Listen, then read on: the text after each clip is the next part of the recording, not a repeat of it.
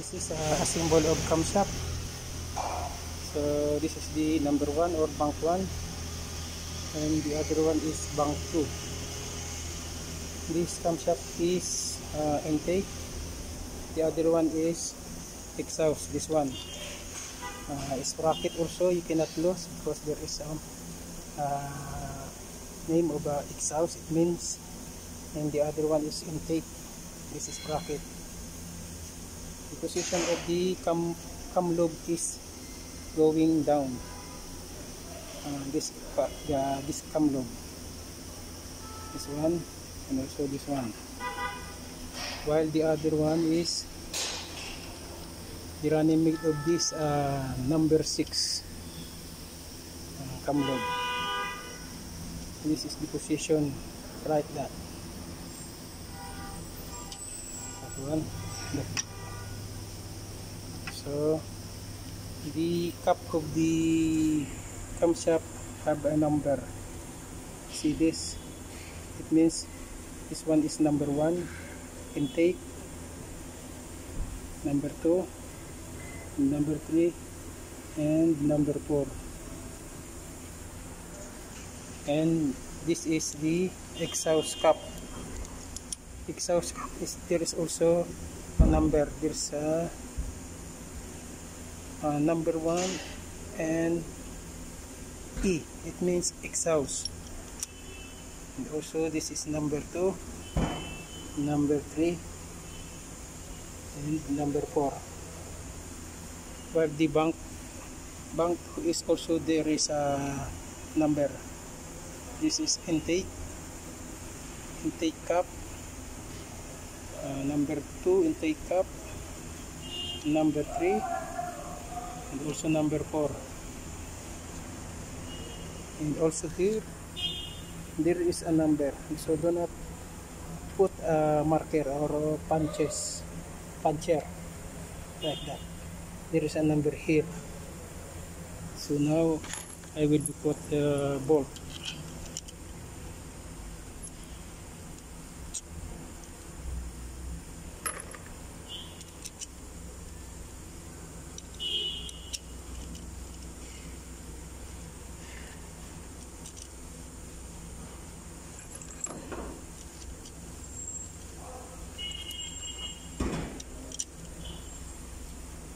los gachetes. Eso me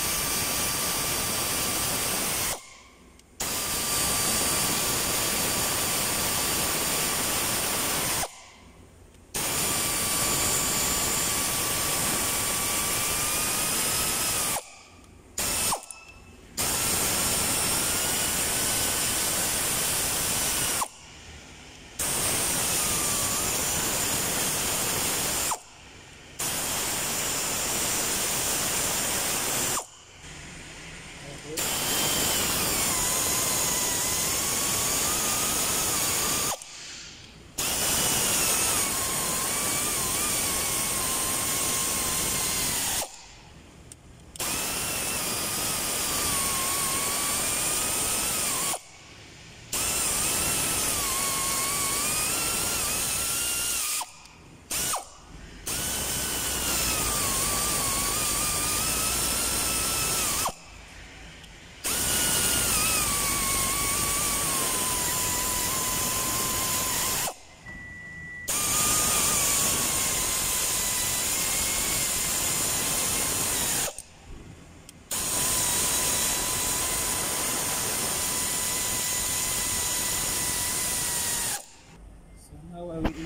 The timing of the camshaft first we will be install the left bank.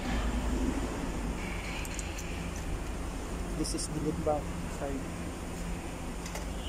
So there is a marker here. We will put this uh, arrow in this side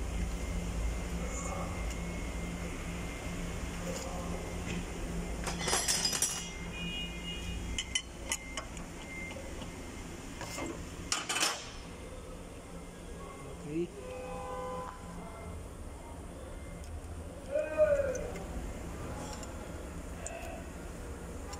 that's it. This is the arrow. So this uh, portion of the timing chain is a bronze color. While the other one here is the, the sprocket is this is the marker also. This side. So the cam follower is going up. This side of the camshaft position itself. See that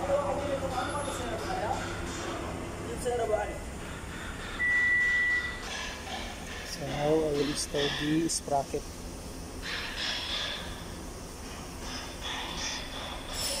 Uh, not in the correct uh, marker so I will return this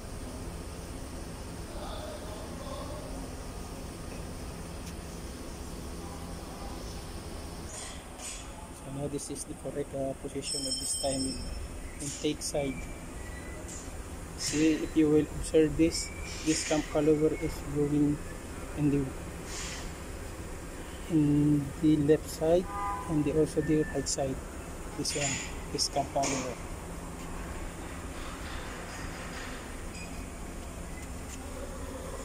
okay then this is the side of this so I will lose again this uh, sprocket because this timing chain does not go inside when you are not loose.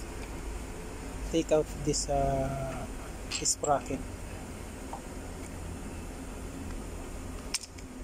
see? Okay. And then we will be right again we will be back again. So will be installed. There is a bulb also here. This bulb is connecting by the bulb cover. Touching by the sensor. Four pieces of that left and right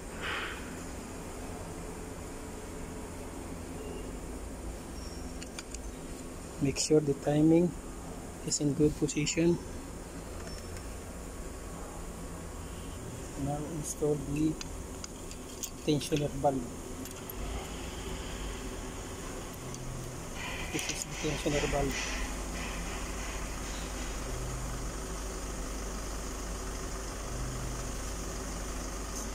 after that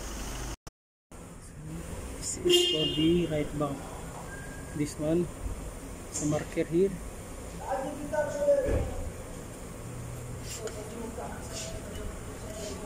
So the other one is here.